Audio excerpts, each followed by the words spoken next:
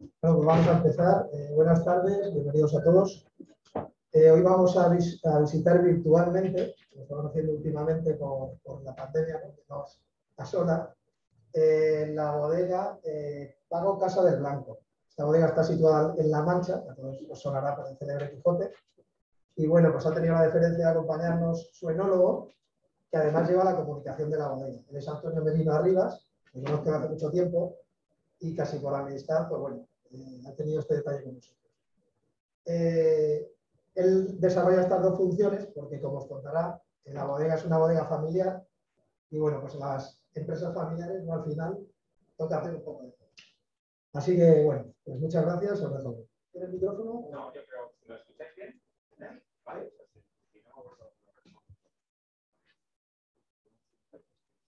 Si micro, en Ah,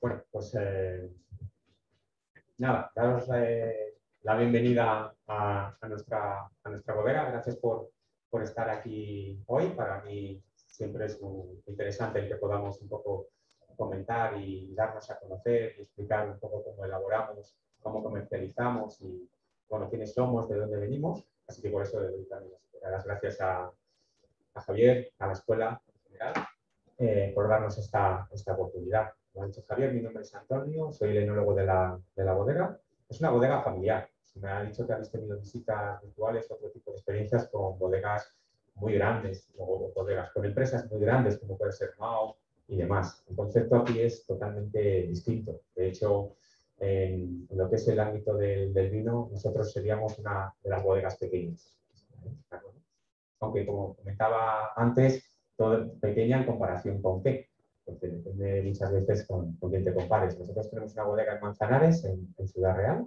en el corazón de la Mancha, pero también tenemos una bodega mucho más pequeñita en el norte de España, en Cantabria, que luego también eh, veremos. Y eso sí que es un, juguete, es un, digamos, es un garaje transformado en, en, bodega, pero a mí me hace mucha gracia porque en este vino de la, en este vino, en este mundo de la alimentación, eh, hay un montón de normativa, hay un montón de requisitos con las distintas administraciones y una de ellas es el, de impuestos aduanas e impuestos especiales, porque el vino no deja de tener alcohol y por lo tanto aduanas eh, nos exige unos movimientos, unos registros. Afortunadamente no se meten mucho con nosotros porque el impuesto en el caso de los vinos es cero. Pero me acuerdo cuando empezamos nuestra actividad en Cantabria que el, agente de impuestos especiales, que casi venía acompañado de la Guardia Civil, porque pensaban que iba a ser pues, como una orujera de las que hay en el, norte, que eso sí que mueve muchísimo alcohol, y me contaban que simplemente para mover una garrafa de un sitio a otro tienen toda la mercancía precintada y solamente pueden abrir una garrafa o abrir un depósito en presencia de los, de los inspectores. Y vamos a, abrir, eh, a meter la llave dentro de la puerta y me dice, bueno, vamos a ver las, instalaciones, la industria. Y mira, sí, digo, esto es un garaje, es un garaje con cuatro, con cuatro cubos. ¿no?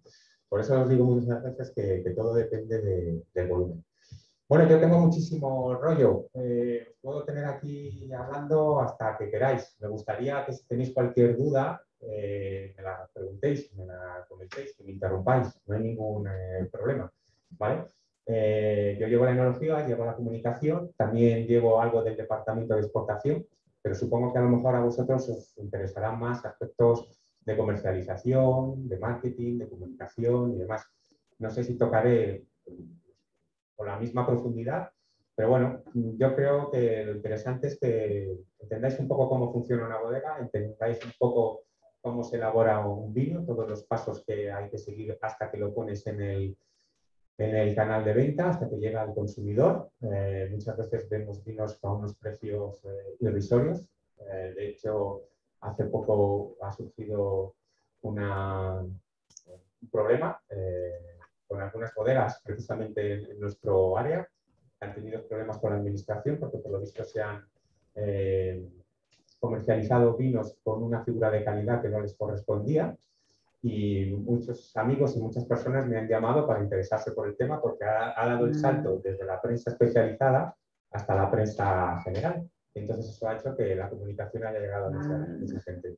Y me preguntaban por esto y muchas veces decía, es que nos engañan. Digo, bueno, nos engañan Estoy en contra totalmente de estas prácticas, pero muchas veces es que nos dejamos engañar. Porque cuando vamos a determinados comercios, cuando yo veo campañas de publicidad del Aldi, el Lidl y demás, que hay un gran reserva por dos euros, bueno, pues quiera comprar, pues lo compre. Bueno, pues si hoy sabemos lo que es un gran reserva y la diferencia que hay con un crianza, pues eso que nos llevaremos para entender este, este mundo. Bueno, pues hablo tanto que se me apaga el ordenador. Bien, eh, lo primero que os voy a poner es un vídeo que resume un poco nuestra historia, nuestra filosofía y os da un poco el concepto del entorno en el que nos movemos, que es el que realizamos con, Juan, eh, con Juan, con Javier, eh, hace 16 años. Así que os lo pongo, me callo y, y luego seguimos con la presentación. Es muy cortito.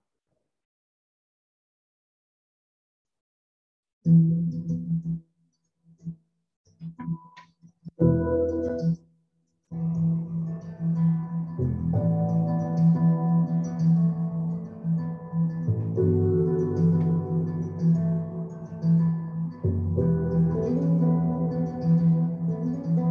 en este enclave geográfico, en estas 92,7 hectáreas, el producto, el vino que se produce, que es la combinación del suelo, de la viña, del clima y de la elaboración que nosotros le damos en la bodega, es un producto singular, producto con personalidad propia.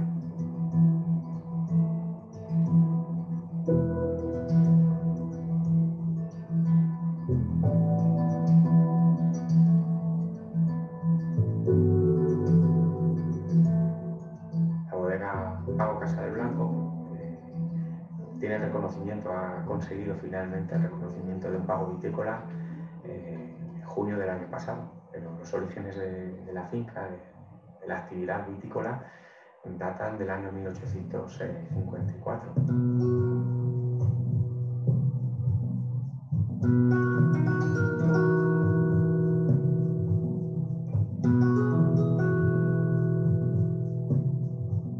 Lo más importante para nosotros es que el, consumidor, el cliente final o aquella persona que vaya a tomar el vino, que lo vaya a degustar, bueno, pues disfrute tanto con el vino como hemos disfrutado nosotros con su, elaboración. Sentimos lo que, hacemos, vivimos para, elaborar vino e intentamos trasladar esta filosofía de, trabajo y de vida en en el producto.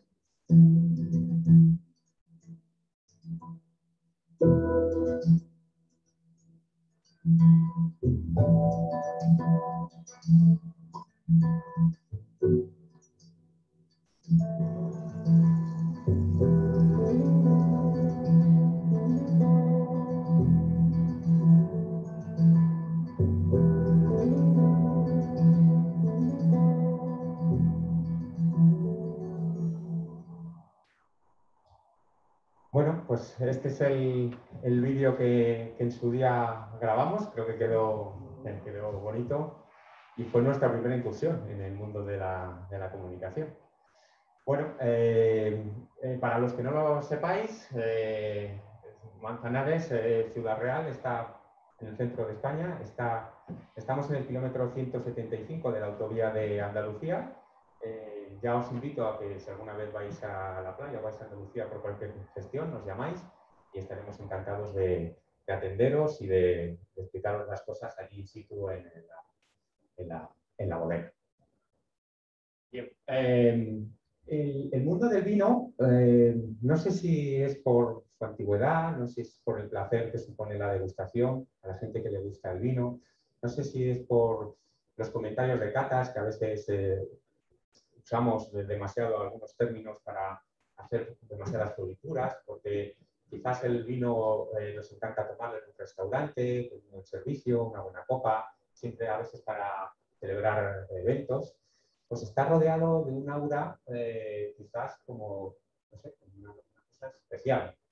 Pero al final es un producto como cualquier otro, que hay que elaborar, que hay que comercializar y que hay unos tableros, unas casillas de este que mes a mes y año a año, si no funcionan, el asunto se va, se va al carajo. Es decir, que eh, las, las, reglas o las leyes administrativas y los, los puntos que sirven para comercializar bote de pintura o una caja de zapatos vale igual para, para el mundo del vino. Eh, yo tenía, un, tenía desafortunadamente un cliente mexicano que dijo que, no sé qué crisis, ya no me acuerdo cuál, cuál fue, después hace ya bastantes años, dijo que todo este, este amor por el mundo del vino y demás se le fue eh, cuando las cuentas no le cuadraron y tuvo que cerrar la, empresa. Entonces muchas veces me dicen, te dedicas al vino, qué, bonito, muy bonito, yo disfruto con el, con el vino, pero eh, los balances anuales y los balances trimestrales de entradas, salidas y beneficios están ahí. Y si no salen adecuadamente, pues, pues las bodegas eh, tienen que cerrar. Y lamentablemente, antes lo comentábamos, ahora mismo con la situación que estamos viviendo, no a nivel español ni europeo, sino mundial, con la pandemia, eh, nuestros clientes se están retrayendo muchísimo el consumo y estamos pasando unos momentos muy, muy complicados, porque todo lo que suponga ocio eh, fuera de, la vivienda, pues está, está bajando muchísimo. Y aunque es cierto que algo ha subido el canal por la venta en las grandes superficies, en los lineales, no compensa en absoluto la dramática bajada de consumo que ha habido en la hostelería, en la restauración, en los bares, en el tapeo, en el copeo, en la, barra del, bar. Las barras del bar, incluso los bares en las provincias, en las comunidades que están abiertas, están cerradas. Y, solamente nuestros, nuestros clientes, pues al final las tiendas especializadas, hasta un poco nos están sacando un poco de, este follón cuando las personas, el dinero que no se gastan en salir por la noche, por la tarde, tomas una copa, pues se permiten a lo mejor algún otro, otro uso. Eh, nos llamamos Quisote. Eh, es cierto que esto es una empresa, pero bueno, también tenemos nuestro, nuestro lado, digamos, eh, romántico. Estamos en el centro de La Mancha y en su día decidimos que la mejor marca para, para representar nuestros productos era la figura del, hidalgo. Eh, tuvimos mucha suerte porque la Junta de Comunidades de Castilla-La Mancha, ya con bastante previsión, con bastante adelanto, cuando era el centenario del Quijote, en el año 2005, la primera, la primera versión del Quijote, el primer capítulo, digamos, se hizo en el año 1605 y la segunda en el 1615. No sé por qué tenemos dos marcas que también se llaman así, 1605 y 1615.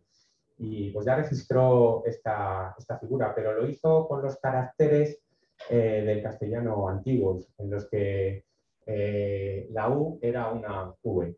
Y gracias a, a, ese pequeño error, porque mi mujer fue a la oficina española de patentes y marcas a registrar la, marca, y, y, íbamos a ponerlo con la V, pero pusimos una U y gracias a eso pudimos eh, registrar la marca Quisote, que quizás en España casualmente no, es, no tiene un empuje grande, pero sin embargo fuera de España a nosotros nos ha servido para dar a conocer nuestro, nuestro vino, porque es increíble eh, lo importante que es esta, marca. Da igual que vayas a una misión comercial en Tokio o en San Francisco, que la gente cuando pasa por tu stand dice, oh, Quisote, conocen ya la marca, ya está en un primer paso.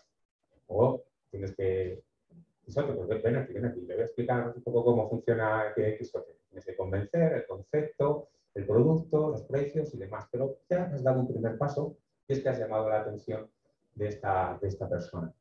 Y esto es fundamental en un mundo, el del vino, que es tan globalizado como el resto de los, mercados. Nuestro cliente ya no es la bodega del pueblo, la de al lado, ni siquiera es nuestro eh, competidor es Rioja. Mi competidor son los vinos australianos, eh, argentinos, chilenos o, de cualquier otra parte del, mundo. Ah, pues que no, le seguimos entonces. Y por favor, interrumpidme. Seguro que ya tenéis alguna pregunta. Vale, pues nada, eh, el responsable de todo esto es eh, don Joaquín. Don Joaquín Sánchez García es la, persona que, que ahora mismo eh, sigue nos marca el, camino y la que nos dio la oportunidad de dedicarnos a, a esto. Él de formación es ingeniero agrícola, aunque toda su carrera lo ha hecho en el campo de la medicina. Tuvo éxito en sus negocios y como le tiraba mucho el campo, pues decidió hacer una inversión a la década de los 80, finales de los 80, principios de los 90.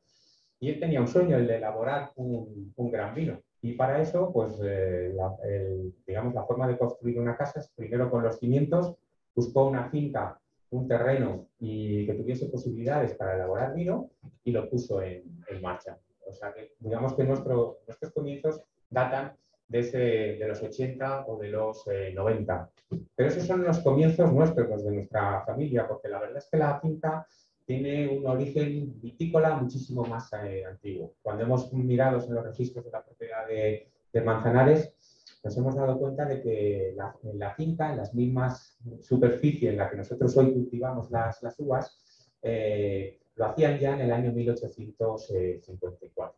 Eh, las García de Escudero y Angler, que fue el quinto marqués de Navasequilla, fue el primer, la primera persona que la escribió en el registro de la propiedad de Manzanares y la llamó Casa Quintería de, la voz.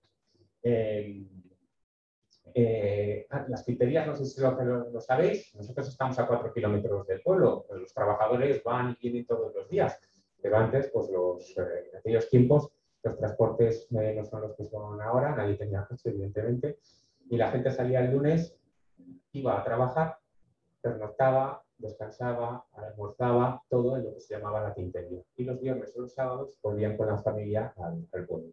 Eso es una quintería y por eso se le llamó Casa Quintería de la Voz.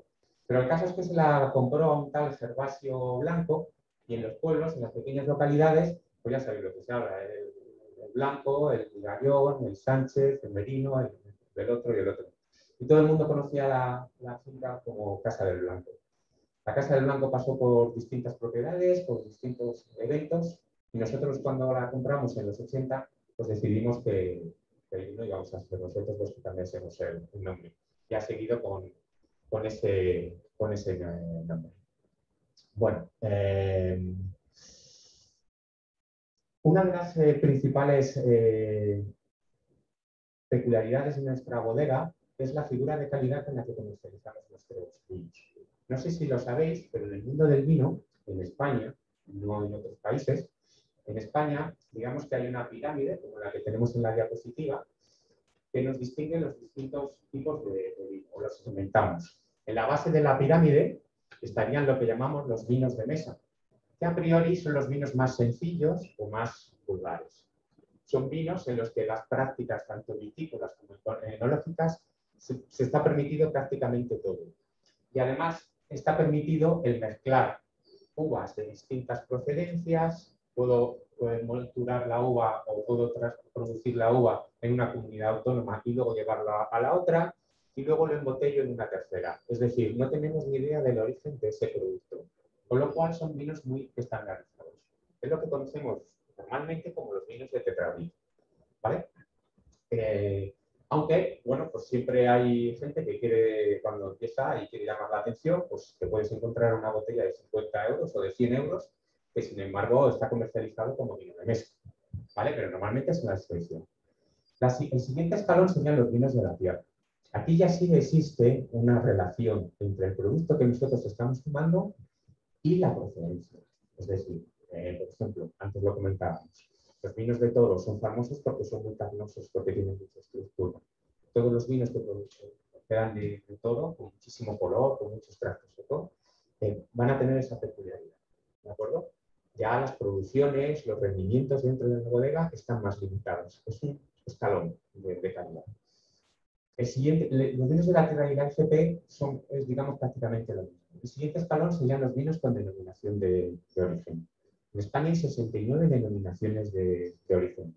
Todos conocemos Ribera, todos conocemos Rioja, pero hay otras muchas eh, denominaciones de origen, como puede ser el Cos del Segre. ¿Alguien ha oído hablar de Cos del Segre? Pues es una denominación de origen. En la isla de Tenerife hay cinco denominaciones de, origen. Es una isla muy montañosa, con muchos microclimas, y da lugar a muy distintos eh, vinos simplemente que estén en la zona norte o en la zona sur, si alguna vez habéis ido a Tenerife, en, el norte puede hacer frío, puede estar lloviendo y en el sur están disfrutando de un clima tropical. ¿Eso qué ocurre? Pues que el clima va a producir eh, distintas uvas que se van a repercutir luego en distintos, en distintos vinos. El siguiente escalón serían las denominaciones de origen calificadas. En España solamente hay tres. Y digamos que son denominaciones de origen que llevan mucho un transcurso en el tiempo muy largo ya han conseguido esa calificación. Pero en la cúspide de la pirámide, y esto casi seguro que ninguno lo sabéis, están los vinos de pago. En España solamente hay 20 eh, eh, vitícolas reconocidos por la administración. Habréis oído a lo mejor hablar, oír de otras bodegas que se llaman pago de no sé qué, pago de no sé cuántos. Pero seguramente cuando vuelves la botella por detrás, en la contraetiqueta, solo viene en denominación de origen, pues Liberal del Duero, o Mancha, o Valdepeñas, o, o cualquier otra. ¿De acuerdo? solamente hay 20 pagos vitícolas. ¿Y qué es un pago vitícola? Un pago vitícola es un enclave geográfico. No hablamos de una denominación de origen tan extensa como puede ser la de la, de la Mancha. La Mancha es Manzanares y la Mancha son algunos pueblos de Guadalajara. Y seguramente el producto que se obtiene en esas zonas es muy diferente. Sin embargo, están agrupados bajo la misma denominación de origen. En nuestro caso, su enclave geográfico son 92,7 hectáreas donde la combinación del suelo y el clima, lo que a nosotros nos gusta llamar el terruño, el terroir, que dicen los franceses, junto con la elaboración que le damos en la bodega, da lugar a un producto singular, un producto diferente, un producto con personalidad propia. Y la administración, para proteger esa singularidad o esa diferenciación, crea una nueva denominación de origen para una sola bodega. Es decir, el nombre de nuestra denominación de origen es el nombre de nuestra bodega, Pavo Casa del Blanco. Es una herramienta estupenda para poder comercializar nuestros productos, sobre todo en el exterior. Porque cuando hace las misiones comerciales el ICES o, el ICES, edita normalmente unos planos de la península con las 69 manchas de las denominaciones de origen, las 54 indicaciones geográficas protegidas, pero luego 20 numeritos. Y en la leyenda aparece el numerito con el nombre del desarrollo sale el nombre de nuestra bodega. Entonces, para un cliente taiwanés o un cliente chino que muchas veces tienen mucha idea del, producto en sí, tienen miedo.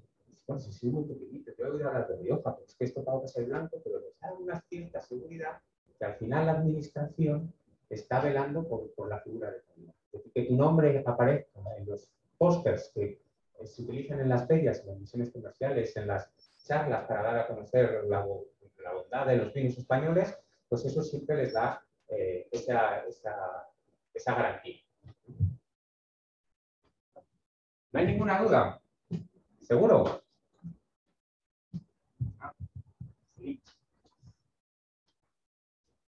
Que se me olvida, perdóname, se me van olvidando pasar, todas estas eh, diapositivas poco las tenía que haber ido pasando según hubiese ido hablando. Al final, Pago, en esencia, digamos, es el, alma del vino y la singularidad.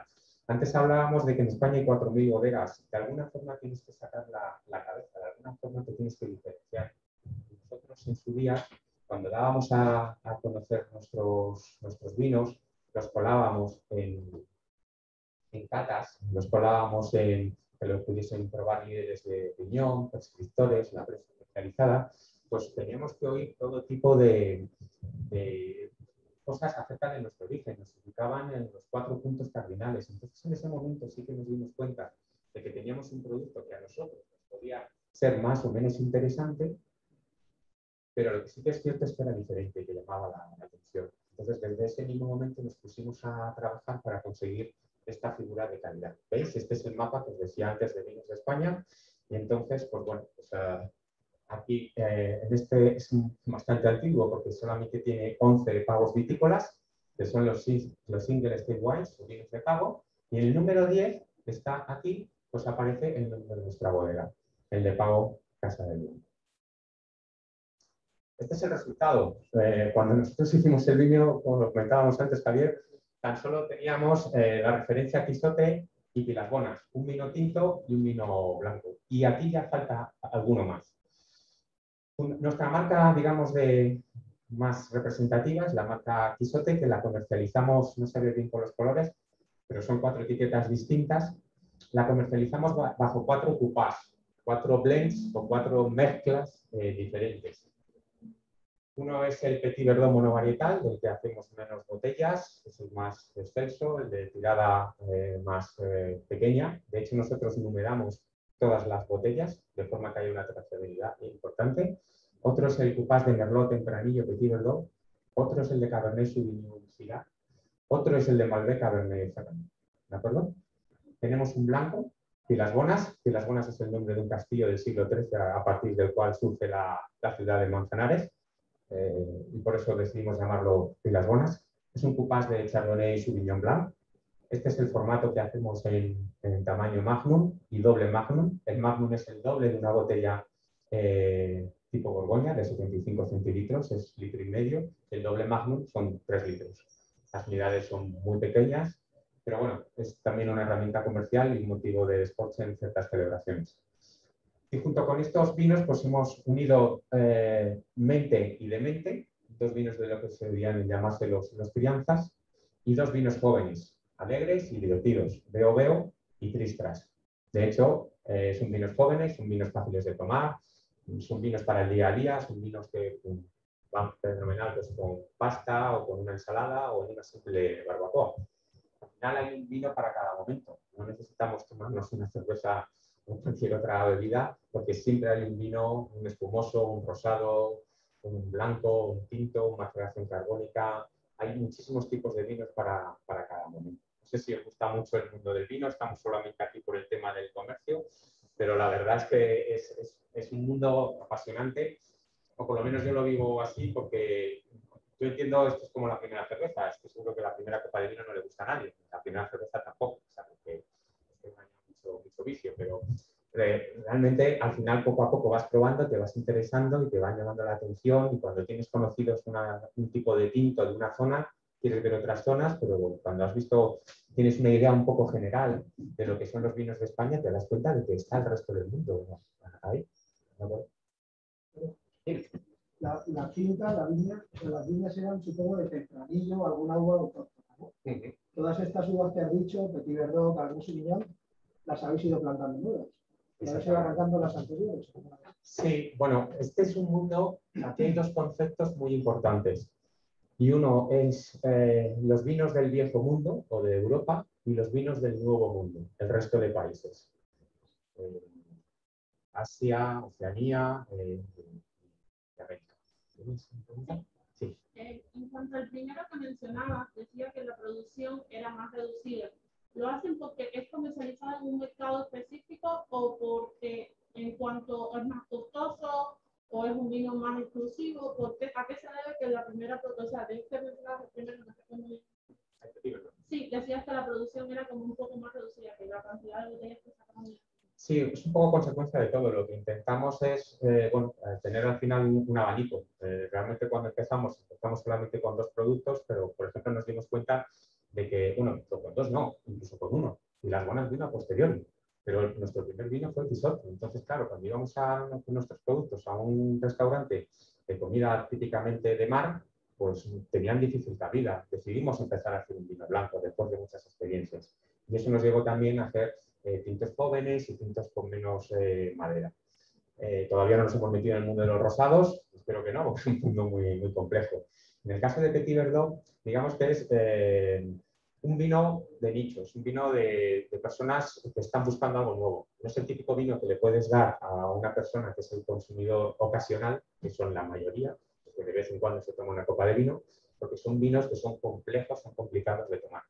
Sin embargo, es un vino muy interesante para alguien que habitualmente, asiduamente toma vinos y está buscando algo diferente, bien por la variedad, bien por el perfil aromático, algo que le sorprenda. Y además destinamos las mejores barricas, las mejores parcelas, hacemos una elaboración muy cuidada. Eso nos lleva a elaborar, depende de la añada, entre 4 o 5 mil botellas eh, al año y, y, también a, que sea el vino más, eh, más caro de, todos los que elaboramos. Y no son caros. Yo lo que creo es que tienen una buena relación calidad calidad-precio, pero sí de lo que elaboramos es el más, el más caro. Bien, sí, pues nosotros cuando llegamos a la finca, pues solamente había dos variedades de, de uva. Eh, tempranillo, que en nuestra zona. Sabéis que algunas variedades, dependiendo de la zona de producción, aunque sea genéticamente la misma planta, como en función de ese suelo y ese clima que hemos hablado al principio, van a dar un producto diferente, pues reciben otros nombres, otras sinonimias. Y la variedad tinta que es más eh, cultivada en España, que es la tempranillo, es la variedad que más sinonimias eh, tiene. En nuestra zona, a la, a tempranillo se le llama cencibel, pero podréis oír Rioja tinta fina, en todo tinta de todo y otros muchos eh, nombres. Este es un mundo muy regulado, decía al principio. Eh, en el caso de los países de la vieja Europa o los tradicionalmente productores. ¿Por qué? Yo, para mover una gota de vino de un depósito a otro, tengo que hacer un asiento, tengo que rellenar un formulario. Y constantemente tengo especies. No lo voy a poder cambiar para ver. No, sé qué sería actual. Tengo que ser capaz de llegar desde la botella número tal, ir hacia atrás y ver el tratamiento sanitario o el tratamiento fúngico o los días que ha dado esa parcela. Están encima todo el día. Hay muchas eh, cosas que están prohibidas, cada vez menos. No os contaré por qué. Pero a cambio, la verdad es que también hay muchas subvenciones. Tenemos muchas ayudas por parte de la Unión Europea. Ayudas a la comercialización. Nosotros tuvimos en la bodega a una eh, persona, a una mujer, a través de un plan PIPE, un plan para exportar, para ayudar a las empresas que empezasen a exportar, una persona que estaba en, prácticas. Te ayudan mucho con misiones comerciales, EDICES y EDIPES nos ayudan, eh, y te ayudan también a la compra de maquinaria para modernizar tus instalaciones en la bodega e incluso te ayudan para modernizar tus eh, plantaciones de mm. Es un mundo que está muy regulado, es un mundo que está muy subvencionado. El concepto contrario, eh, digamos, de el, negro frente al blanco, el blanco frente al negro, serían el resto de los países, en el que todo está permitido. Todo se puede hacer. En Sudáfrica, en Chile, en Australia, en Nueva Zelanda, en Estados Unidos, en el resto de los países. Ahora, no hay ningún tipo de ayuda. Si el producto funciona, pues será un éxito. Si el producto que has pasado de precio no lo has sabido colocar, no te has rodeado de, de los comerciantes adecuados, pues tendréis que cerrar y dedicaros a otra cosa. Hasta ahora ha habido una gran diferenciación, pero la verdad es que eh, estos vinos del Nuevo Mundo, sobre todo chilenos y argentinos, son tan competitivos que en la vieja Europa hemos tenido que ponernos las pilas y prácticas que antes se denostaban como de tercera, como es el envejecimiento del vino a través de la maceración con chips o con restos de maderas pequeñitas que estaban prohibidos en la vieja Europa, hoy ya están permitidos. Lo que no puedes poner es referencias a esto en la contraetiqueta. Tenemos, digamos, eh, un envejecimiento de los vinos tradicional, que es la crianza en barrica. Luego hablaremos, lo veréis. Una vez que hemos elaborado el vino, las mejores partidas se envejecerán, pasarán un tiempo de contacto dentro de una barrica, de un envase de madera, y esa era la única eh, crianza que estaba permitida hasta hace unos años. Pero viendo que realmente estos países eran competitivos tanto en calidad como en precio, pues se ha ido abriendo la mano. Esa diferenciación sigue estando ahí. Pero lo cierto es que en, España, en Italia, en Francia, en Alemania, en Hungría, países en Portugal, los países que tradicionalmente elaboran vinos, sigue habiendo mucha regulación por parte de la administración. E incluso te dicen qué variedades puedes plantar y qué variedades no si luego las quieres comercializar. Cuando nosotros llegamos a la finca solamente había aire, que es la variedad blanca típica de La Mancha, y, y ¿Qué hicimos? Pensábamos que para elaborar un gran vino hacen falta tener herramientas. ¿Cuáles son las herramientas? Las variedades de uva. Pero lo que hicimos, tuvimos que arrancar distintas hectáreas de viñedo para eh, reconvertirlo y plantar variedades que a nuestro juicio nos podían dar más fuego variedades pues, más aromáticas, hasta el punto de que a día de hoy tenemos hasta 12 variedades eh, distintas.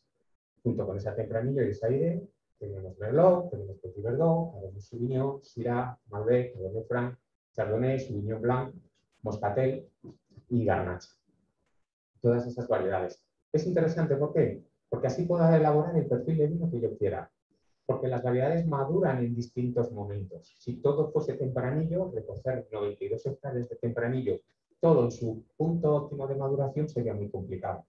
Sin embargo, empezamos a principios de agosto, mediados de agosto en nuestra zona con la tempranillo, se llama así porque es la tempranera, la que antes se recoge.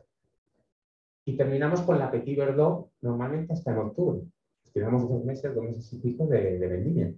La Petit Verdot es la pequeña verde, se llama así porque es originaria del norte de Francia, de Burdeos, y muchos años, como si la climatología no es extensa, si no es perfecta, las uvas no llegan a madurar. y los granos verdes no llegan a terminarse, no llegan a enverar, que decimos, no llegan a tornarse negros. Aquí ese problema no lo tenemos. Para nosotros es una variedad además muy interesante para el tema este del cambio climático, porque conseguimos vinos que tengan una graduación alcohólica baja, tengan una acidez y una frescura muy buena y con gran color. Tenemos que dejarlo mucho más tiempo, pero para nosotros no hay ningún problema. Hay veces que estamos recogiendo el tempranillo y el que tiro yo, como que dice, está terminando de enverar, está terminando de cambiar de color. Y a partir de ahí empieza a acumular azúcares. Uf, estoy hablando demasiado, me quedan un montón de, de, diapositivas. Así que hay un poco. Bueno, esta es la, la bodega.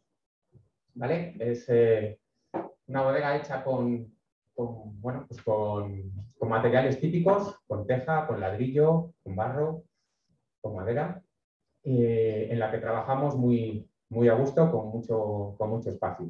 Todo el viñedo que veis pues es, propiedad de la bodega y está alrededor. Es una superficie llana, bastante plana, y eso hace que los tiempos de recogida entre que recogemos la uva hasta que la llevamos a la bodega pues sean muy cortos, lo cual es un factor de calidad importante. Estas 92,7 hectáreas nosotros solamente molturaremos o procesaremos en la bodega un 20 o un 30%. Este año hemos hecho 250.000 kilos.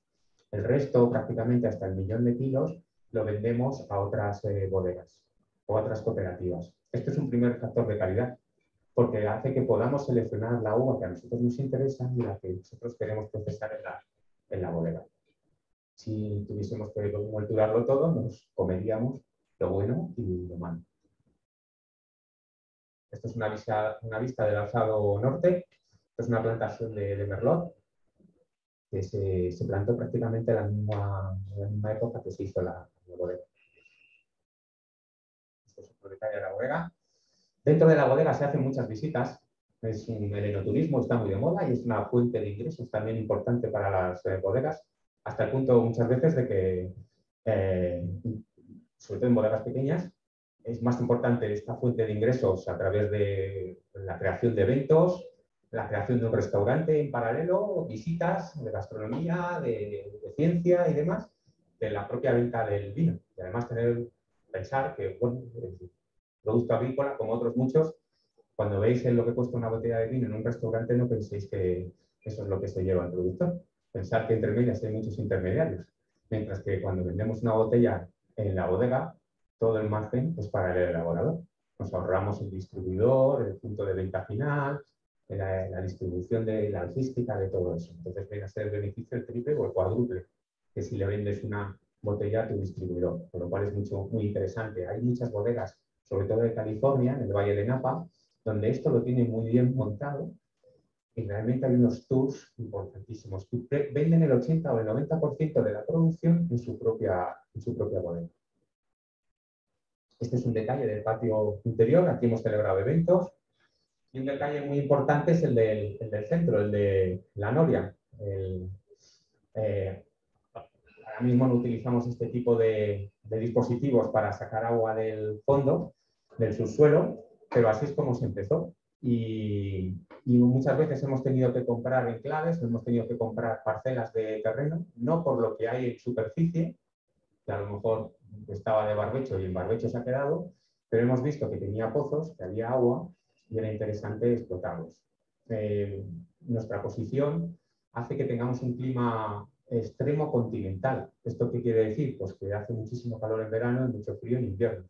Y que las precipitaciones son muy escasas, en torno a 350 a 400 milímetros de agua al año. Y además muy mal repartidas. Llueve ahora bastante en abril, en mayo, en marzo, en diciembre, pero lo que no haya llovido hasta mayo, junio, julio y agosto, excepto alguna tormenta despistada, pues no, no va a volver a caer una gota de agua. Y para conseguir un producto equilibrado, una valla que tenga una concentración, una composición química interesante para elaborar vino, es necesario el aporte de, agua. Para nosotros es, es fundamental. Esta es la sala de crianza, donde guardamos tanto las botellas como eh, las barricas, porque la mayoría de los vinos que nosotros elaboramos son vinos de largo recorrido, tienen crianza en botella y en, y en barrica. ¿vale? Entonces es necesario tener una sala, una habitación muy grande, donde la eh, temperatura y la humedad está controlada para conservar adecuadamente los, vinos. Este es el viñedo eh, y es la parte más importante, si cabe. Antes, cuando se usaban los estudios de enología, el enólogo era un tío estirado que decía que el viñedo no pasaba, que se manchaba los zapatos. Sin embargo, ahora todo, cualquier estudio de enología es un 50-50. Enología, elaboración, química, bioquímica, eh, tecnología, desarrollo industrial, y la otra mitad es viticultura. Porque si no tenemos una buena materia prima es imposible elaborar un buen vino. Milagros en bodega nosotros no hacemos. Es lo más interesante a lo que se dedican hoy en día más jornales y más recursos económicos es a intentar que cada grano de fruta sea el mejor grano de uva posible. Es decir, que la uva venga con 10 puntos sobre 10 y que en bodega pues no los tenemos. Este era el trabajo que hacíamos hace muchos años. Son nuevas plantaciones, arrancábamos esas hectáreas, utilizábamos esos derechos de plantación, esos, digamos, esa documentación que teníamos y los sustituíamos por otras, por otras variedades. Estas plantas ahora pues ya tienen un, tronco pues, muchísimo más, más grande. El viñedo se lleva muchísimo trabajo, hay que regular muchísimo la carga. Eh, por ejemplo, este, este pámpano que hay aquí, que ha salido fuera de lo que es el, el, tronco, pues hay que eliminarlo. Y aquí veis como distintos trabajadores pues están eliminando distintos, están haciendo lo que se llama una poda en verde. Están eliminando pámpanos y los están tirando al, al suelo. Esto es interesante cuando el producto que vas a obtener es de calidad y alguien o tú mismo lo vas a utilizar para elaborar vinos de calidad. E incluso se regula la carga, la producción que va a dar esta parcela. Para que os hagáis una idea, nuestro pliego de condiciones, es decir, el reglamento que rige nuestras normas de elaboración para nuestro vino de pago, eh, nos da un rendimiento máximo de 7.500 kilos por hectárea. Si vemos que nos vamos a pasar, hay que hacer una poda en verde. Y es preferible hacerla al principio para que los racimos que quedan en la planta se nutran de toda la savia y queden mucho más concentrados. Para que os hagáis una idea, eh, vinos de la tierra de nuestro entorno tienen permitidas eh, producciones de hasta 20.000 kilos por hectárea. Eso, el mosto que luego da o el vino que da es algo sucio, prácticamente. No tiene nada que ver con una planta a la que no se le exige, sino que se le da 7.000 kilos por hectárea. Estos son los racimos que ya han florecido y que se empiezan a formar los primeros granos de uva verde. Este es otro detalle. Y estos son los racimos que ya están enverados. En este caso es una, es una parra de, de Cabernet. Eh, son racimos sueltos, muy acascabelados y que dan lugar a, vinos también bastante, bastante estructurados y con mucho color. Esta es una parra, este es un racimo de tempranillo. Por la forma de las hojas y por la forma de las uvas puedes adivinar qué tipo de variedad es. El mundo del vino es muy interesante porque tiene una particularidad que no tiene ninguna otra bebida alcohólica, y es el concepto de añada. El concepto de, que cada año el vino es diferente. A vosotros os podrá gustar mucho una cerveza, o una ginebra, o un ron, pero nunca veréis el año en el que se ha elaborado, porque no es interesante, porque son procesos industrializados en los que lo que se intenta es armonizar todas las partidas. Si yo tengo un ron que envejece en robles de no sé qué, tendrá un perfil diferente al roble que envejece en robles de no sé qué, pero siempre será el mismo. Sin embargo, cada año climatológicamente hablando es diferente y el producto, la uva, va a ser diferente. Es un concepto que es interesantísimo para el consumidor y es nuestro gran batalla, caballo de batalla para el elaborador, porque nosotros intentamos que todos los años mantengamos en un nivel alto pero, pero constante. Antes hablábamos de que había 5.000 bodegas, pues o 4.000. Pues esas 4.000 bodegas todos los años renuevan su producto. ¿De acuerdo? Esto es eh. Eh, se diferencia de las otras porque tiene aquí un ápice, tiene una puntita y, pincha. Y esto es lo que llamamos una graf o, un, o una un grumo o digamos algo que no va a madurar bien y que no se debe de recoger en la, en la vendimia. Y este es el momento de la vendimia, cuando recogemos eh, la uva que durante todo el año hemos cultivado y que hemos conseguido llevar a buen término. Esta pasada semana hemos tenido heladas en la zona, hemos perdido algo de producción. Cuando se produzca la floración, pues eh, veremos cómo ha sido el cuajado. Puede haber lo que llamamos corrimiento, es decir, que haya flores que no cuajen, que no lleguen a buen término y no den un grano de, uva. Puede haber sequía, puede haber plagas, puede haber hongos, puede haber insectos, ácaros. Al final, eh, después de todo el año de elaboración, el momento álgido, el momento en que el viticultor obtiene los frutos de todo ese trabajo es el momento de la vendimia. Por eso en los pueblos que tradicionalmente son viticultores, las fiestas del pueblo coinciden con el momento de la vendimia. Bueno, eso era antes, cuando se vendimiaba en septiembre o en octubre. Ahora con un cambio climático que ya vendimiamos en agosto, ahora ya no coincide el momento de la vendimia. La uva viene a la bodega en cajas de plástico apiladas y en el laboratorio, pues lo que hacemos es análisis tanto de uvas como luego del mosto que, llega, para hacer el momento de la recogida de la uva justo el día indicado, porque es la composición del fruto está cambiando, se está transformando constantemente y lo tenemos que recoger justo cuando a nosotros nos interese. Para eso también la ayuda eh, del laboratorio, del aparataje, pues es muy interesante. Y muy interesante también es la labor de los vendimiadores y de la parte humana de todo este proyecto. Yo os invitaría a que un día eh, hagáis una vendimia, porque al día siguiente vais a estar con ibuprofeno y paracetamol durante todo, durante todo el día. Es un trabajo a manual fuerte y exigente. ¿vale? Este es el equipo de, de vendimia. Nosotros hacemos parte, ahora lo vais a ver, vais a ver vendimia manual y vais a ver vendimia mecanizada. Este es parte del equipo de la vendimia manual. Este aquí es como procesamos la uva. Este digamos que eh, lo vamos a ver, vamos a ir viendo, no sé si tiene, sí, aquí. Es el remolque en el que traemos la uva a la bodega. Es un remolque vibratorio que vibra y descarga la uva sobre esta mesa de selección, donde se van seleccionando los, racimos. Racimos verdes, racimos clasificados, hojas, piedras, cualquier elemento extraño que no nos interesa que luego entre en el depósito. Una cinta que eleva la, uva y que la introduce en este dispositivo que es eh, la despalilladora. Aquí lo que hacemos es separar el escobajo, la parte agra, la parte verde, el esqueleto verde que sujeta a las uvas, sale expulsado por aquí, se recogen estos cajones, mientras que las uvas ya sueltas caen como canicas en esta segunda mesa de selección, donde se vuelve a seleccionar el, fruto.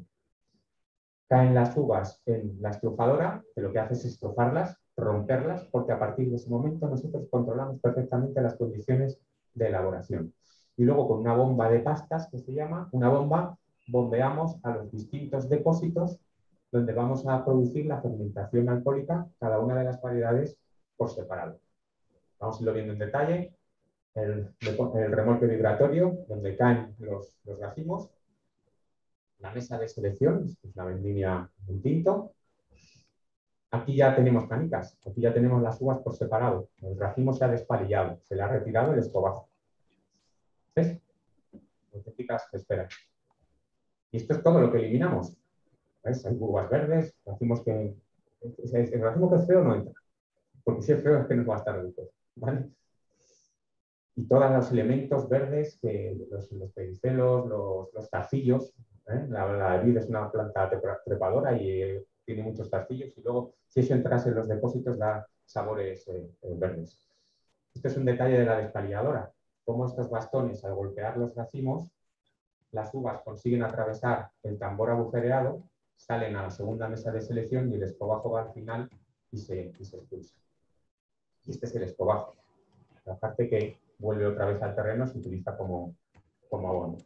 Y este es un vídeo que resume un poco está bien.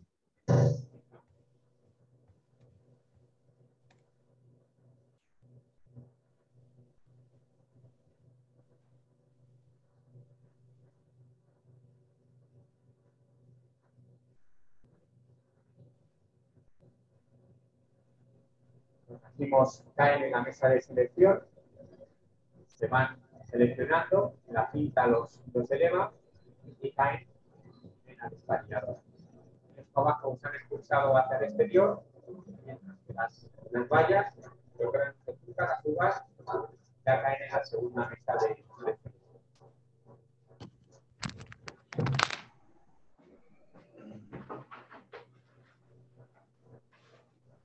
y aquí caen la entonces se rompe. Es interesante que la uva llegue muy entera a la bodega, porque cuando se rompe, cuando se libera el mosto, el mosto está espesa de todo tipo de levaduras y bacterias. Nosotros lo que hacemos en bodega es inocular con las levaduras que a nosotros nos interesan más. Caen en la bomba y ya desde la bomba, a través de una manguera, se llenan los depósitos. Esta instalación es una instalación muy sencilla, muy simple, eh, pensada para elaborar pequeñas cantidades de, vino, porque son todo elementos móviles, no hay instalaciones fijas, no hay torbas, no hay descargaderos, no hay tuberías de acero inoxidable, sino que todos son tuberías eh, de PVC y transparentes para luego controlar mucho la asepsia y la, y El ejemplo contrario es la vendimia en blanco las uvas blancas como la Irene, la Chardonnay y la Sauvignon Blanc. Esta, esta uva nosotros la recogemos por la noche. Lo hacemos por la noche porque las temperaturas bajan y en este tipo de vinos la temperatura a la que es recogida la uva y entra en bodega es crítica. Entonces, eh, luego lo digo en el vídeo, podríamos enfriarla, pero ¿para qué? Si la noche nos baja la temperatura de forma natural. Lo malo es que durante unos cuantos días andamos con el horario un poco, un poco cambiado, ¿vale? Aquí lo que ocurre es que si os dais cuenta, eh, esta vendimia es mecanizada. Como es por la noche, se lleva un engorro y aquí es necesario recoger la uva muy rápidamente y una máquina de las que recoge en Cuba puede hacer la labor de una cuadrilla de 30 personas con un, solo operario, ¿vale? Entonces aquí la uva ya no viene en racimos, sino que ya viene en forma de, granos de, uva. Pero el sistema eh, es muy, muy parecido. Este es otro vídeo que nos hicieron en un, periódico de, Ciudad Real, el diario Lanza, que habla un poco de eso, de la vendimia nocturna. Os lo pongo.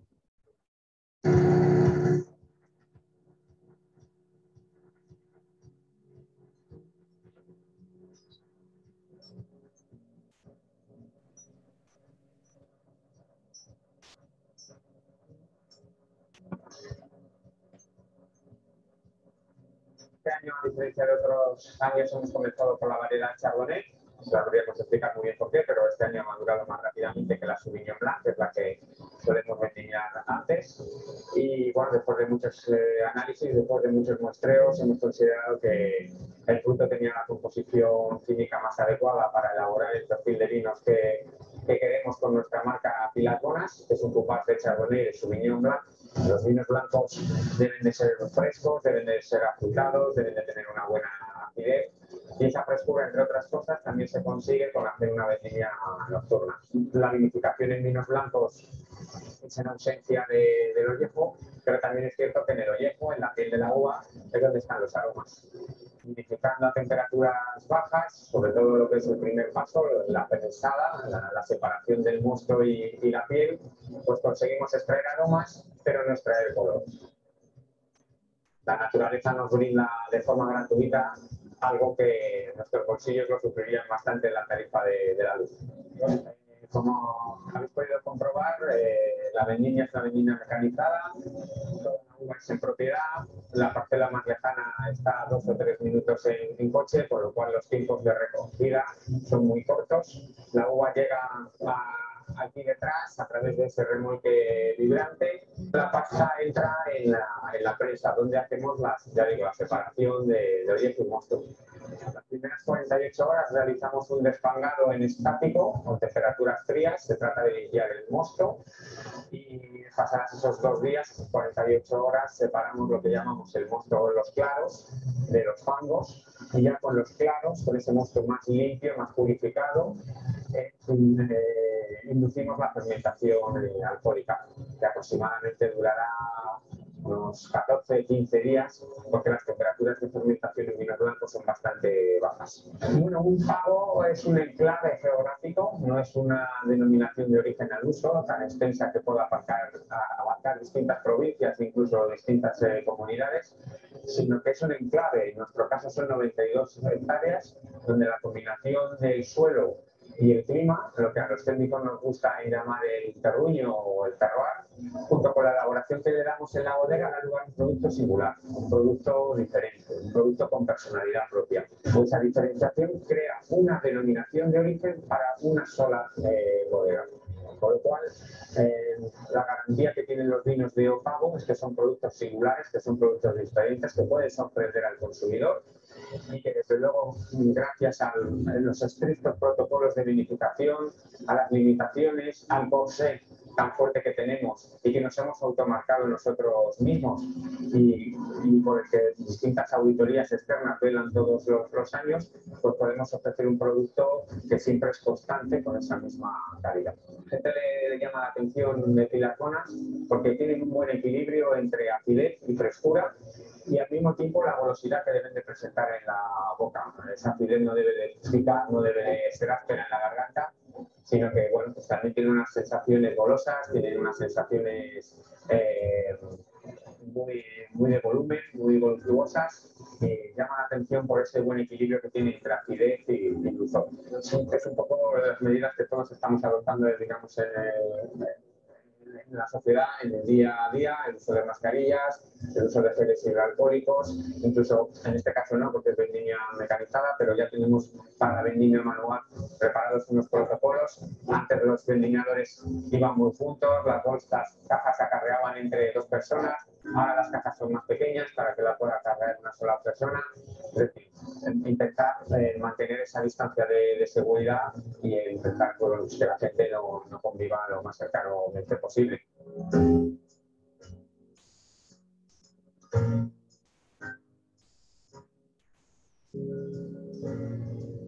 Bueno, pues eh, ese día de agosto estábamos eh, vendimiando el chardonnay, luego lo mezclamos con el sauvignon y lo sacamos al mercado. Y la verdad es que muy contentos porque precisamente la semana pasada este vino que comenzamos a elaborar hace unos meses consiguió eh, una medalla de oro en el concurso Citadeles Dublín.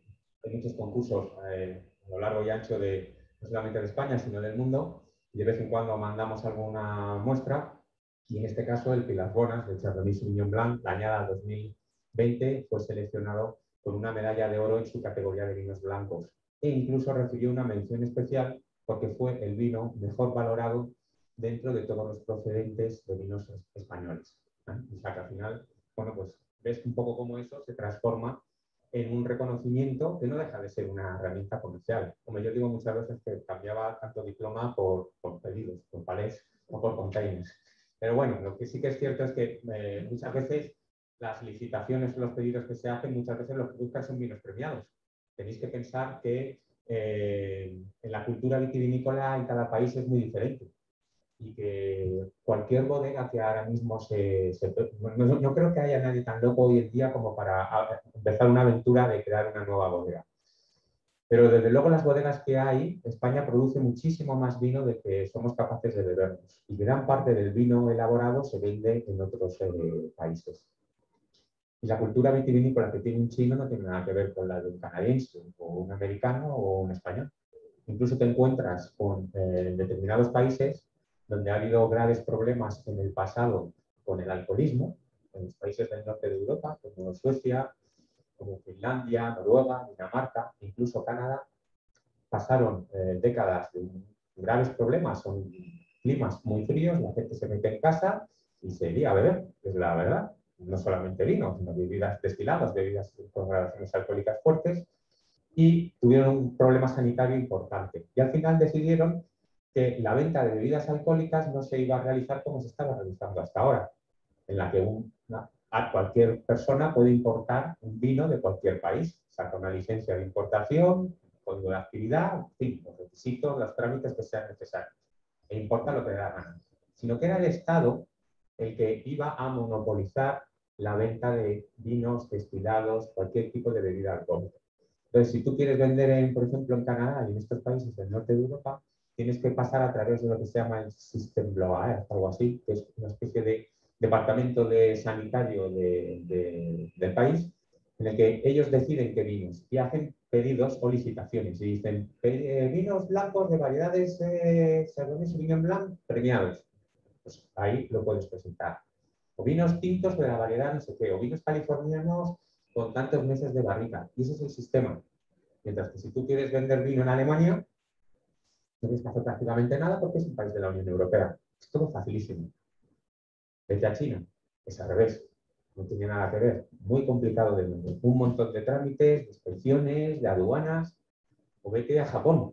En Japón tienen mucho miedo a un compuesto que se llama el ácido cítrico. Y, si tienen una determinada cantidad de ácido cítrico, que en otros muchos países está permitido, ahí te lo tiran para atrás. Es decir, la contraetiqueta varía mucho según los, según los países. Sí, Antonio, primero felicidades por la charla. Eh, bueno, me presento, yo soy Ángel Sánchez, soy el director del máster de. Ah, bueno, veo que estáis muy internacionalizados. Bueno, eso me dices.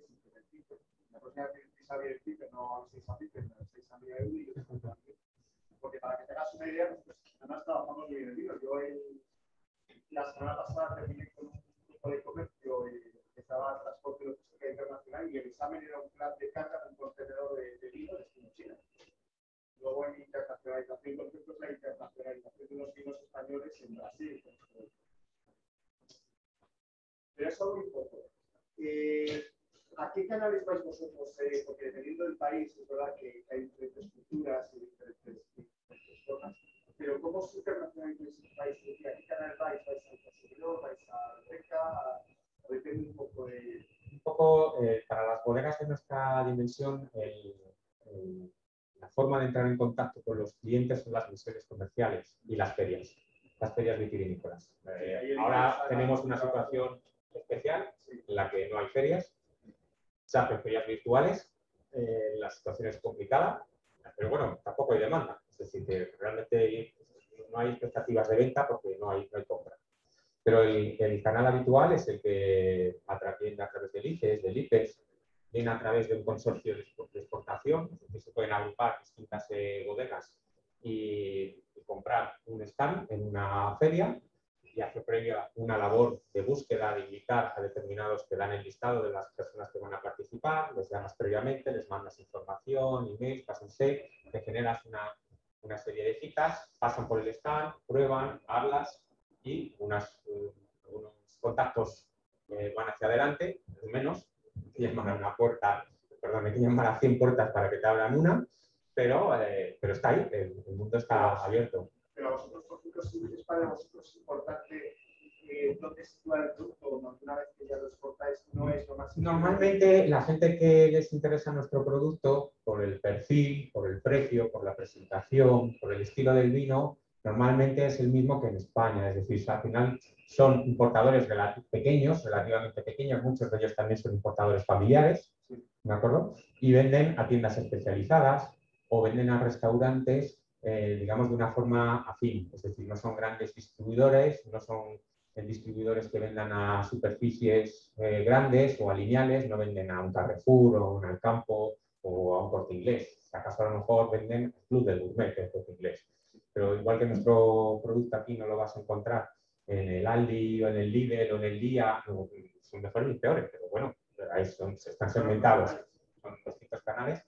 Eh, pues lo mismo pasa en otros, en otros países. Lo que sí que es cierto es que eh, cada país es, bueno, pues eh, buscan un estilo diferente. Afortunadamente, muchas veces nos preguntan, bueno, ¿y qué países son más interesantes? Digo, son, son vinos que se adaptan muy bien a cualquier tipo de, gastronomía, desde gastronomías tan fuertes o tan picantes como pueda ser la china o la mexicana, a gastronomías más próximas a la nuestra como pueda ser eh, la del Reino Unido, o la francesa o, o la holandesa. Por ejemplo, nosotros vendemos mucho en Países eh, Bajos, en, Holanda y, en Bélgica, en Alemania, en Suiza.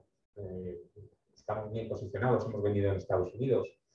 Y lo que sí que es cierto es que al final cada país es una aventura, es un mundo distinto. Eh, rellenar un contenedor, para nosotros los contenedores son muy especiales. Normalmente nuestro cliente es más de, incluso a veces nos piden un palé eh, combinado con distintas eh, referencias, no hay problema contenedor. Tenemos que algún cliente de contenedor, pero tampoco son interesantes para nosotros porque supone poner muchos huevos en la misma cesta.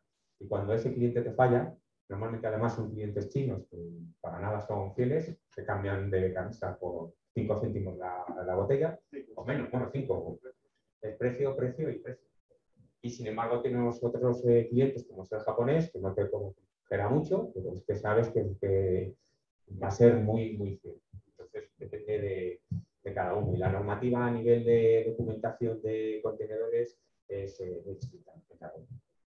Bueno, cuando necesites salir para trabajar, y Vamos a darle a esto un empujón. A ver si.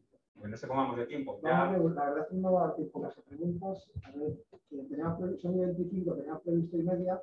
Si quieres a menos cuarto, ¿te da tiempo? Sí, yo voy un poquitín más y ya me he quitado casi todo, ¿vale? vamos a, a verlo. Bueno, estas son las nuevas generaciones que vienen empujando fuerte, que están seleccionando la uva. Este es Guille, que está contento, que ha cogido dos, dos uvas verdes, ¿vale? Y, y, aquí están los peques haciendo vino. Eh, yo me río mucho de lo ecológico y lo natural. El, vino es la mejor de las bebidas naturales. Si vosotros cogéis un racimo de uva y lo espachurráis, como están haciendo los tríos, que han espachurrado en esos botes, lo están colando, están obteniendo un mosto. Las levaduras que hay en el entorno van a entrar y van a transformar ese azúcar, ese mosto que para ellos es fuente de energía, para crecer. Y el tema es que en ese crecimiento producen un producto secundario, muchos productos secundarios. Uno de los más interesantes para nosotros es el etanol, el alcohol. ¿Vale? Lo único que hacemos nosotros en la bodega es encauzar eso que se da de forma natural en el medio, en la naturaleza, lo encauzamos por el canal más adecuado para que nosotros podamos obtener un buen vino, ¿vale? Y lo hacemos en estas instalaciones, con acero inoxidable, con control de temperatura, con asexia, con higiene. Cuando los vinos eh, empiezan a fermentar, lo que tenemos que hacer es hacer remontados. Eh, cogemos el, mosto por la parte inferior del depósito y lo subimos a la parte superior para eh, extraer el color y los aromas que se encuentran en los granos de, uva. A veces hay que hacerlo manualmente y a veces nos equivocamos y llenamos demasiado los depósitos y se nos salen porque también se desprende carbónico, estos otros productos secundarios. Entonces, los depósitos hay que llenarlos, hay que dejar un tercio libre en previsión de que luego el volumen va a aumentar. Y a veces no calculas bien y, hay que coger la pala para sacar eh, el tema.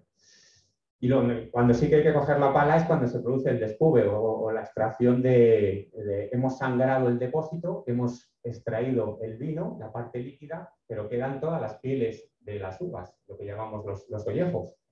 Eso todavía tiene vino y además un vino de mucha calidad, es lo que llamamos el vino prensa, ¿vale? que lo mandamos a esta prensa. Normalmente las prensas que a lo mejor que conoceréis son las habituales de un sillo vertical, una especie de tornillo gigante y alrededor hay una jaula eh, por la que sale el vino. Eso ya está un poco superado y ahora se utilizan presas neumáticas como, como esta.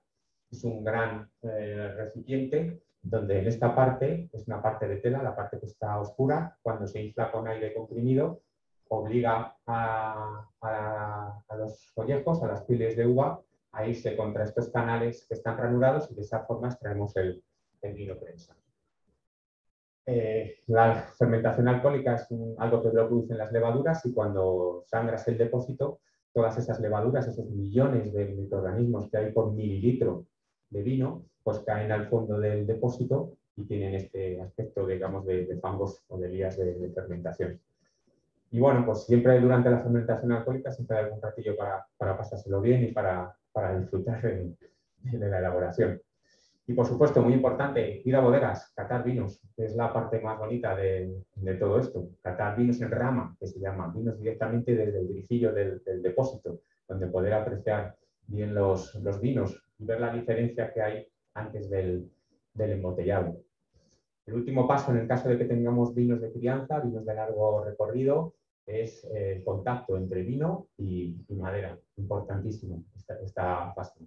Y un gran eh, sumidero de recursos económicos para la bodega, porque la madera es un consumible, es decir, es algo que se agota.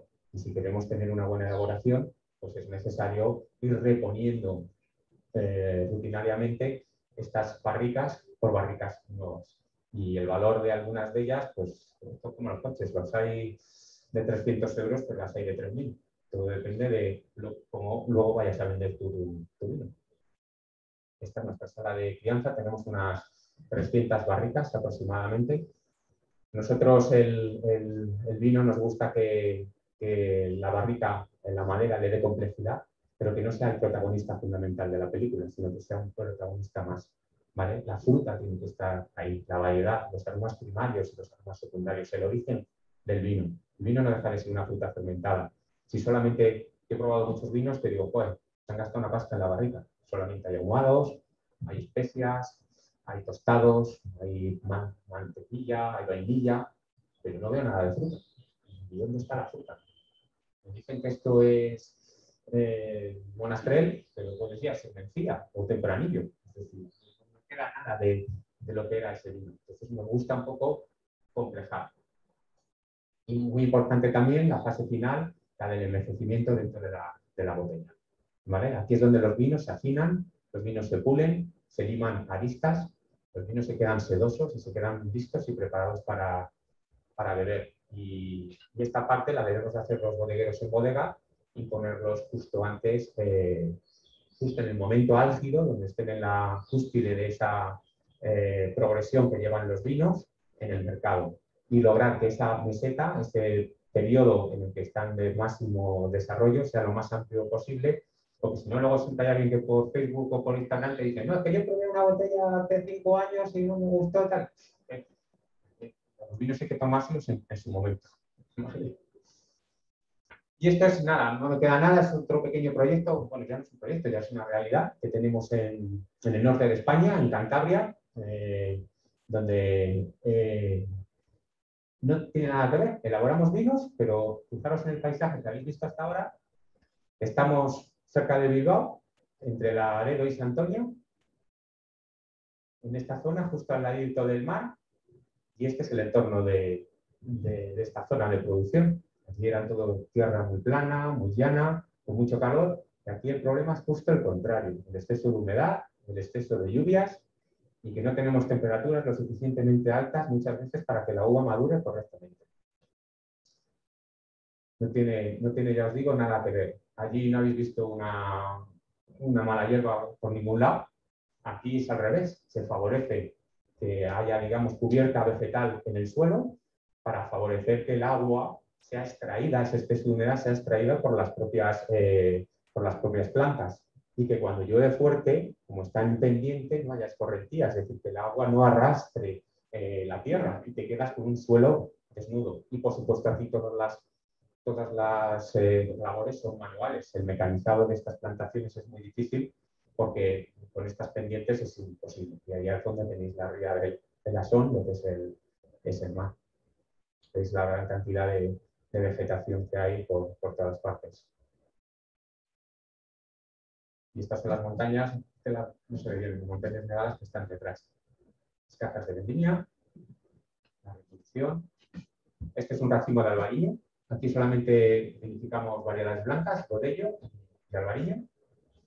Y además lo hacemos en un entorno, aquí sí que queríamos hacer el tema del enoturismo, potenciarlo, pero vino la, vino la pandemia y teníamos preparado un restaurante y afortunadamente no lo abrimos porque dos o tres meses eh, antes de, que íbamos a hacer la apertura, íbamos a hacer el verano del 2020, que es cuando la temporada turística alta, y vino la pandemia y el restaurante está con todo, preparado para abrir mañana, pero por está así.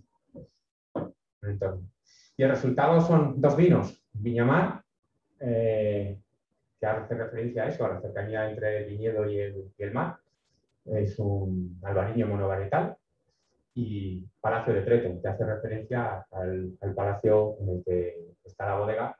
En este caso es el mismo vino, pero envejecido no ya en barricas, sino en botas, botas de roble francés durante cuatro o cinco meses. Son vinos, digamos, de más recorrido que se pueden tomar durante más años y para pescados, y guisos y, asados, no como el, anterior Viñamar, que lo más indicado es pues, para el típico pescadito, el marisco, los pescados más, más ligeros.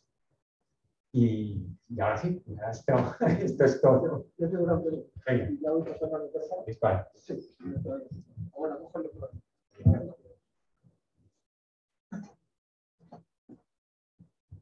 Sí, sí. Sí, sí, sí. Vale. Eh, yo eh, como consumidor de vino lo que veo es que pruebo grandes vinos que no se conocen. Entonces siempre he pensado que se da mucha importancia, que es fundamental, pues a tu labor como enólogo, ¿no? buscar el alma del vino, que la materia prima sea buena, pero el marketing yo creo que falla mucho. Un ejemplo, ahora has visto eh, Habla del Silencio, que se llama la bodega extremeña, que se ha extendido por toda España, sin ser un gran vino, y yo creo que sobre todo ha sido la parte de marketing. También te lo digo, porque hay muchos alumnos de marketing y es lo que yo percibo en las bodegas. O sea, es como que esa parte no se le da la importancia suficiente. Ha cambiado mucho, ha cambiado mucho, pero lo podéis ver simplemente en la presentación de las, de las botellas. Es cierto, lo que dices es, es literal. Yo estoy harto de ver magníficos vinos mm, mal vendidos, a unos precios irrisorios, y sin embargo otros vinos que son, a mí me cuesta mucho hablar mal de un vino, pero vinos, y vamos a llamarles dignos, pues que sin embargo se ponen en manos de un equipo comercial, de marketing, de comunicación, etcétera, adecuado y consiguen eh, dar, el salto. Eh, uno de esos casos, el, caso de que nos hablas de la bodega extremeña de Habla, es un caso de, éxito. Están allí en tierra, yo he pasado por allí, están en tierra de Nales, si vais a Portugal, eh, vinos extremeños. No tienen una gran soler, no tienen una gran... Y sin embargo, han sido capaces de poner un producto ahí en la venta. Eh, yo siempre digo que además eh, los enólogos y los técnicos de bodega jugamos a hacer vino, a saltar de depósito en depósito, a hacer la elaboración y demás. El verdadero trabajo y el más insatisfactorio es el vuestro, el de la comercialización, el de dar a conocer los vinos. Porque te llevas muchos sin sabores, porque al final todos elaboramos magníficos vinos, pachasco, que elabora ya un mal vino, te acaba a pegarle collejas ahí está la competencia que hay, que todos los vinos son magníficos. Y hay una relación calidad-precio ahí terrible. Es, espectacular. Yo entro mucho en las tiendas de vinos, aparte que siempre salgo comprando, porque me gusta el, vino, pero entro también a, a, curiosidad, a ver precios, a ver presentaciones, a ver cómo me vende el vino el, el, el o el, responsable de la, de la tienda. Y te das cuenta de que esa es la verdadera batalla, la de la venta la venta es, fundamental. Y hay vinos que triunfan y otros que no.